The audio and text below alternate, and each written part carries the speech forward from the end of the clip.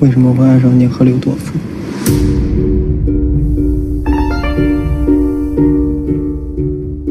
我第一次接触到这个剧本，因为我一听到这个故事的时候，我就会觉得哎，挺有意思的。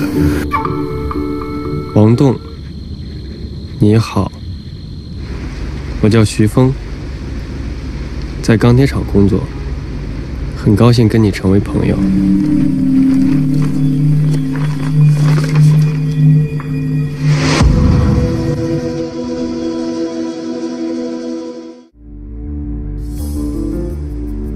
男人都是悲哀的，王东是悲哀的。在他的心里，可能爱就是因为有权有势，所以他一直在努力的奋斗，想要把自己认为的好的爱给到自己爱的人。不是，他等等于是他下来以后下去以后，然后突然画面如果固定，然后我的脚一出画，这个时候进来了。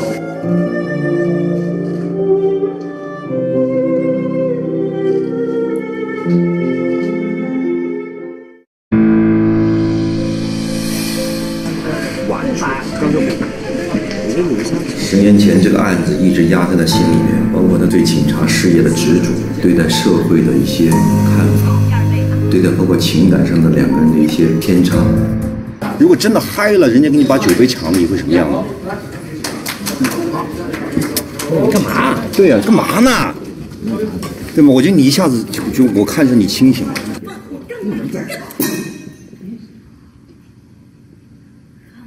哎呀！有时候觉得这个人有点跟时代有些格格不入，但是在他的身上，我觉得承载了这个故事和我们的时代，我们的很多人这十年的一些经历。有病啊！本身我哥哥就是警察，我又去找了很多警察，接触了很多警察。真正的刑警身上可能所谓的更接地气儿，要让别人看看着觉得他更不像刑警，他就是个老百姓，他可能更融融入环境，更融入这个社会，这样他才能隐藏好自己的身份，最好的去办案，去抓人。七月二十八号下午三点到四点之间，你在做什么？是不是你干的？陈卫坤能感受得到徐峰身上的一些东西，继父的这种暴力、流氓气息，给予了家庭，他母亲给了他在生活和精神上的一种莫大的压力。他走出这一步，有一些不是他想要的，这个孩子也不是成的。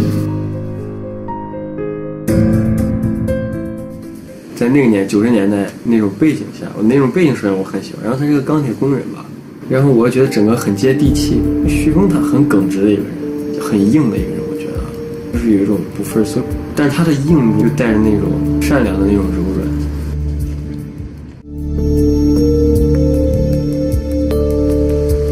王栋在《中国金丝》里面清楚地透王栋是个什么样的人，他对学会什么样的感情，他全看在眼里，所以说才导致了会对王栋的一些举动，或者是这种又看不起他，又把学会转手。我觉得这种可能对这个王栋一种藐视的一种方式。王栋在他的那样的一个人生，在他那样一个价值观、人生观，决定了他会做这样的事情。首先，一是那场戏在戏中很重要，我俩第一次见面，刚开始有点磨合哈，到后来尤其拍到跳舞，那天晚上反正我俩我觉得我俩都拍得很开心。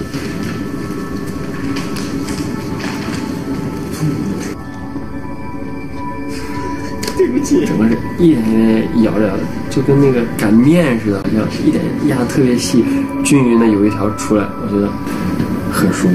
那场戏其实我俩跳最后都笑了，但其实我预想的那场是很严肃在跳，但是可能那样也出来另外一种效果。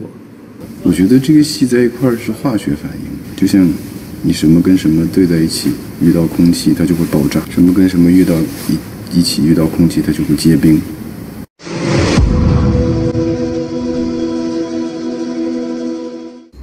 告诉我他们怎么做才算是善良？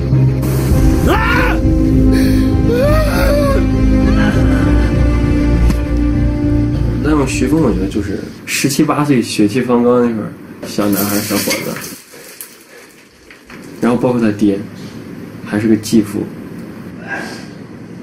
天天打他。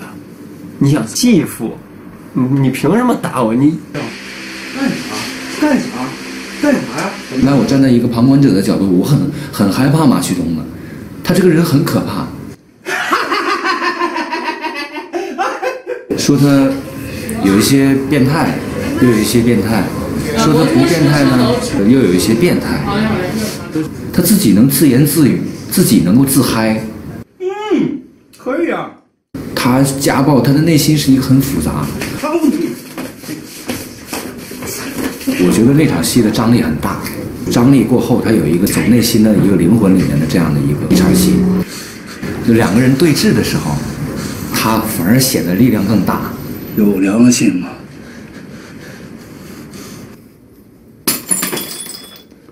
王源老师在现场没有别的废话，你就能感觉他很认真的跟你对戏。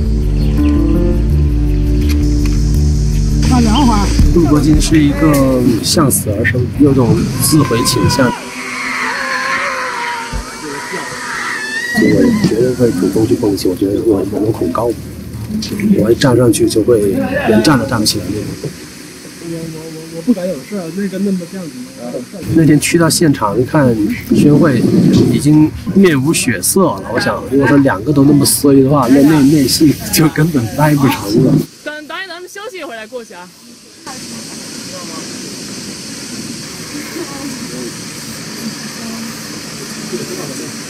我只能硬着头皮就做个榜样吧。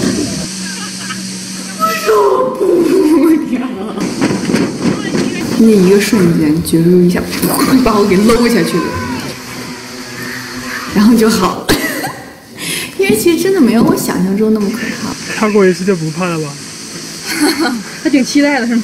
他是有点精神追求这么一个人，但是又表现出一种很多东西都无所谓的。宣慧还是一个弹性比较大的人，非常活泼、非常外放的一个女孩，就是她是绽放的。这两个人共有的特质就疯狂，快乐就是快乐，高兴就是高兴。那是年轻，一个是自毁。他。是吧？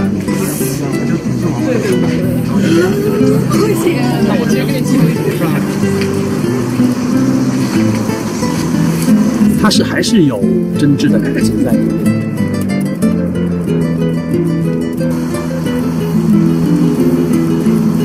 十年之后，可能就是受过伤，他会有一些收敛，我觉得。现在是你的生活发生了最大的危机，你要不要保护你的家庭？要的，但是呢，你怎么保护你无能为力啊？过来找你聊聊天。这时候也是个悲哀，就是夫妻之间你也管不了他，他也管不了你。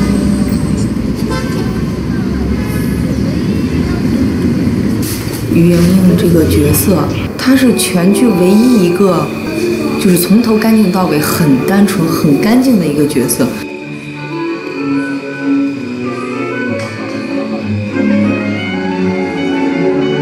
你不要看机器，我就往这儿看。哎，对对对。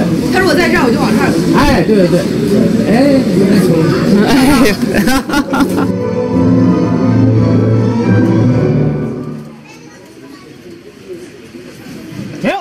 这个部分在这边，对吧？这样的话呢，你就能把他的脸给露出来。哎，我我看一下，我画方面。对，所以我说那个。哎，对，正好，正好。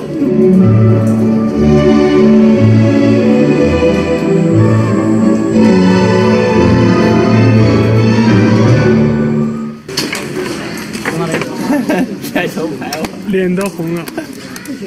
这个男性角色其实大家都很贴切。宣慧一个新人来演，要跟这几个人搭。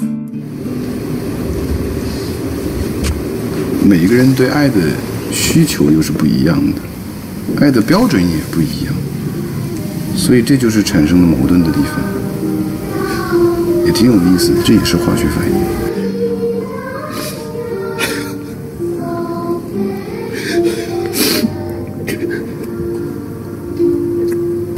自然而然感情的流露，我觉得在那一个时刻，它就会有一个合适的爆发。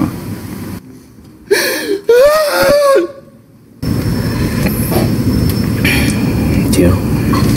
好，停。其实我什么都没做，做得好的其实是剧本。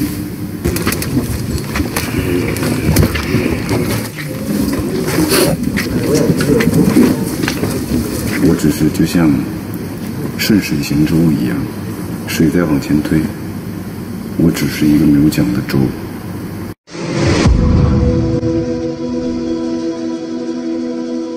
我告诉你，马斯诺为什么会爱上你和刘多夫？因为他有权有势。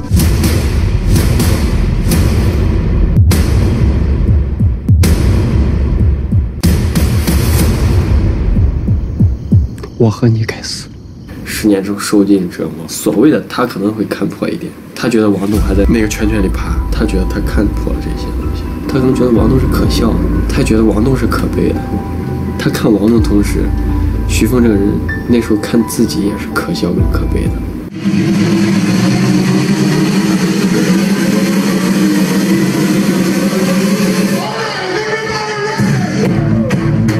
最累的，你知道吗？就听那场戏，那场戏我真拍完，我累到不行，小腿整个就是完全麻，就是完全没知觉要酥掉那种感觉。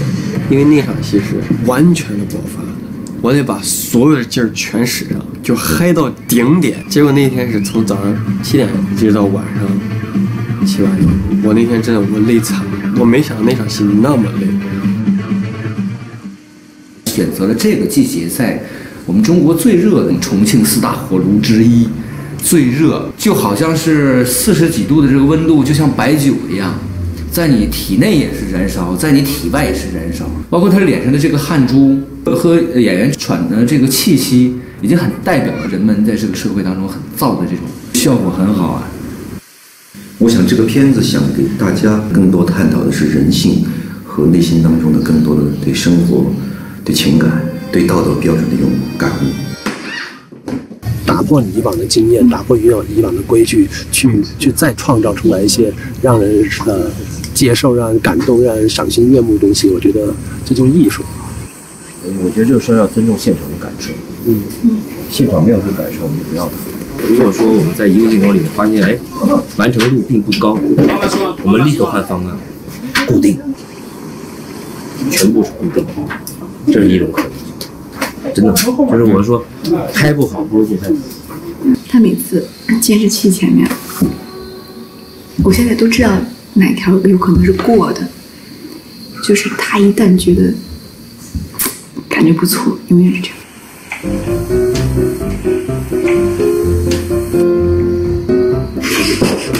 完美，过了啊！